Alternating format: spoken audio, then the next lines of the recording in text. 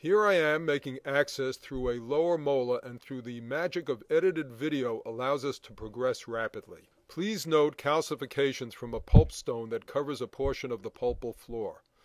One can sometimes remove the pulp stone by cleaving it away from the surrounding dentin. When this doesn't work, we drill it away.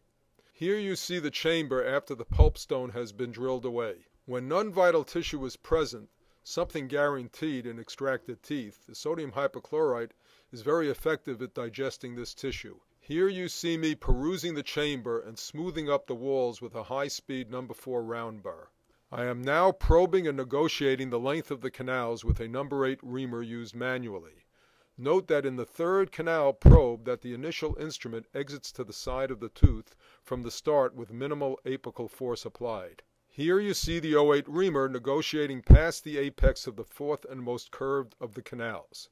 For the sake of this demonstration I am going approximately 1 millimeter over the radiographic apex so you can see the non-distorting action of the reamers both manually and in the reciprocating handpiece. In the mouth we would do the same thing except rather than going 1 millimeter past the radiographic apex we would go 1 millimeter past the apical constriction which would most often not present itself as an instrument exiting the canal. The patency of the canals have been established with the initial reamer used manually, in this case the 08 reamer. We then attach the subsequent reamers to the reciprocating handpiece for greater ease of negotiation, 1 mm beyond the radiographic apex in this demonstration and 1 mm past the constriction in real clinical situations. Please note how the relieved reamers record the curvature of the canals they are negotiating, making these instruments, though stiffer than nitide, less likely to cause apical distortion due to the recording of the shape and the limited 30 degree arc of motion they scribe. Please note at times you see the extrusion of debris. Clinically, this is not a problem.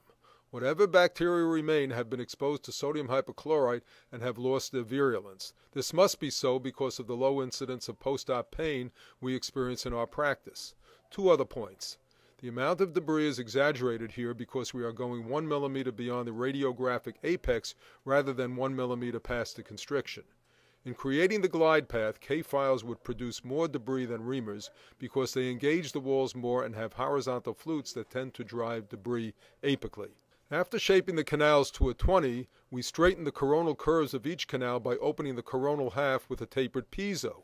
Please note how I consistently move the cutting edge of the tapered piezo to the outer wall on the upstroke. The orifices are clearly visible after shaping with the tapered piezo. The sequence of instruments is now taken to completion. Please note the round canal preparation at the end of three of the four canals. The fourth canal, where the instrument initially exited out the side, is still round but takes on a more oval configuration only because it prepares the inner wall beyond the initial exit of the instrument from the outer wall. The round preparations offer clear evidence of the non-distorting ability of these instruments even as they prepare the canals to a 35, 1 mm back to a 40, and the overlay of a 2506 taper.